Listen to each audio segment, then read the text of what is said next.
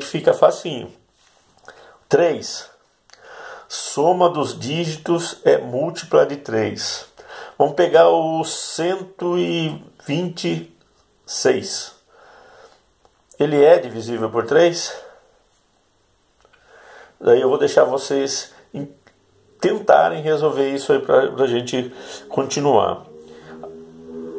Número 4 é o número formado pelos dois últimos dígitos dividido por, por 4. Por exemplo, se eu pego 226, é divisível por 4? Vamos lá, 2, 2, 6. Os dois últimos dígitos são 2 e 6. Se a gente somar 2 e 6, dá 8. 8 é divisível por 4. Então essa é a regra, tá? E aqui eu coloco o 5, ele é muito fácil de nós identificarmos, porque ele termina com 5 ou 0. O 6 é divisível por 2 e o 3 ao mesmo tempo. O 7 nós não vamos colocar ele porque ele tem uma regra muito complicada de ser trabalhada na idade de vocês. Então a gente vai deixar isso aqui um pouquinho para ver isso aqui um pouco para frente. Já o número 8 vocês devem ter um pouco mais de facilidade. Vocês vão ver se os três últimos dígitos é divisível por 8. Então é uma regrinha bem trabalhosa. Nós vamos ver isso com um pouquinho mais de calma, tá? O 9 é a soma de, dos dígitos é múltipla de 9. Por exemplo, se a gente pegar 36, ele é divisível por 9? Daí nós somamos os dígitos. 3 mais 6, 9. É divisível por 9? Então é. E qual seria o número que, que é múltiplo de 9 aqui? 4 vezes 9 é o próprio 36. Isso parece um pouco confuso no começo, mas devagar a gente vai melhorando isso, tá? Era, isso aqui era mais para fazer uma revisão e saber onde que vocês estão hoje. Vai lá, múltiplo 10. O 10 é muito fácil. O último dígito é zero. Então, 10, 20, 30, 40, 50, esses todos são muito fáceis de vocês identificarem. Não se preocupem em decorar isso aqui no momento, que essa tabelinha aqui eu vou deixar vocês sempre terem a mão para utilizar.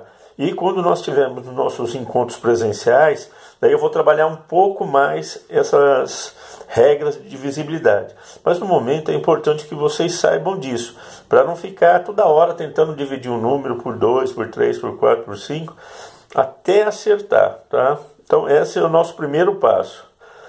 Daí aqui a gente vai, eu vou passar para um próximo passo aqui, que já é usando essas regras. Por exemplo, 2 vezes 4. Eu coloco a imagem aqui, ó, vocês podem ver, eu coloquei dentro de um quadrado 4 bolos e 4 bolos. O que, que quer dizer isso? 2 vezes 4 dá 8. Então nós tínhamos 4 numa, num canto e 4. Então se a gente fizesse uma soma, 4 mais 4 seria a mesma coisa que essa divisão aqui. Daria o mesmo resultado, pode dizer. 2 vezes 4, 8. E embaixo eu fiz o inverso, 4 vezes 2. Então eu separei de 2 em 2, multiplicando 4 vezes. Chegamos a uma quantia de 8 bolos. Tá ok? Essa é, é basicamente a forma que a gente usa para fazer a multiplicação. É só mais uma forma gráfica para ficar mais fácil para vocês entenderem. E à medida que eu tiver a segurança que vocês saibam resolver o problema, ou tem algum domínio da multiplicação, nós vamos melhorando isso, vamos aplicando com um pouquinho mais de intensidade. Divisão, essa aqui é, é bastante. Ela tem bastante minúcias, assim, ela é, tem que ser cuidadoso com a divisão, principalmente quando vocês estão tendo um contato com isso pela, com, é, há pouco tempo, que eu acho que seja o caso de vocês. Então, eu vou trabalhar no primeiro momento só a divisão exata. Tem a divisão exata e a não exata.